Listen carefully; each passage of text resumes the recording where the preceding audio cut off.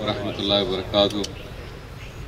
सबसे पहले तो आ, मुझे इस बात की ज़्यादा खुशी है कि यहाँ पे आप सब के साथ मुलाकात हो रही है